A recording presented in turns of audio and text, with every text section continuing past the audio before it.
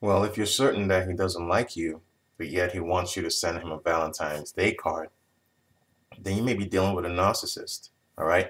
You may be dealing with a guy who just loves getting that kind of attention from several different girls.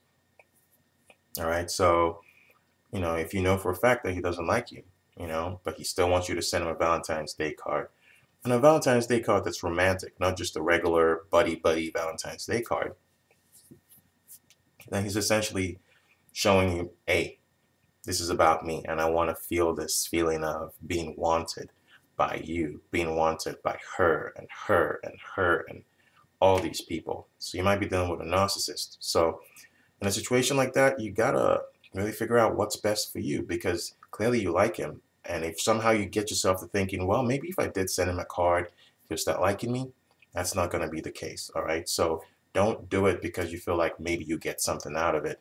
You can't force him to like you when he doesn't.